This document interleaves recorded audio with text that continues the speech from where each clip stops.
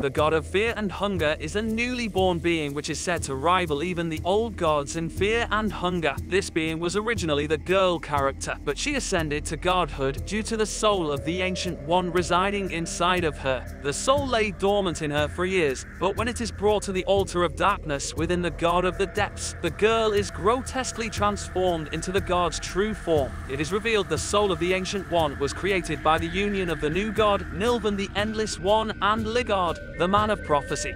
While the creation of the god of fear and hunger leads to the death of the player character, she shows mercy on us, and her ascension marks a new age for humanity. Subscribe for weekly fear and hunger lore videos.